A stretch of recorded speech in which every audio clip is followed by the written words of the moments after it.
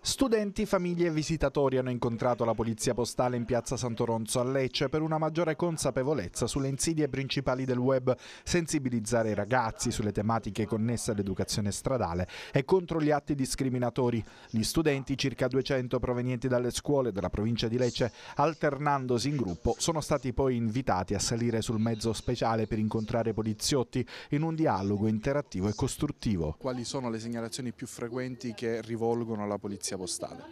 I ragazzi sicuramente vengono interessati spesso dal bullismo e da comportamenti devianti eh, che si eh, mettono in atto eh, tra di loro quando c'è un utilizzo inappropriato di quelli che sono i social network o comunque i device messi a disposizione dai genitori. Il grooming, così come altri reati eh, legati a altri, altri, comportamenti eh, legati all'adescamento dei minori online sono tuttora una minaccia. Oltre ai ragazzi anche i genitori devono prestare attenzione sui ragazzi.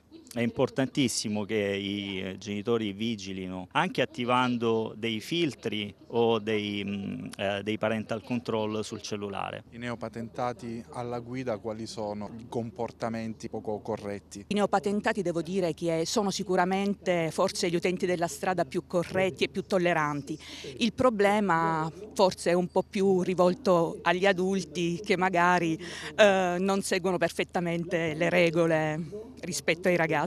Dobbiamo essere attenti con la prevenzione e con la repressione affinché questi numeri non aumentino ancora di più, ma soprattutto quello che noi stiamo puntando è molto sulla prevenzione. E questo è un capitolo di un lungo percorso di un libro che stiamo scrivendo insieme a tutti i ragazzi della provincia di Lecce.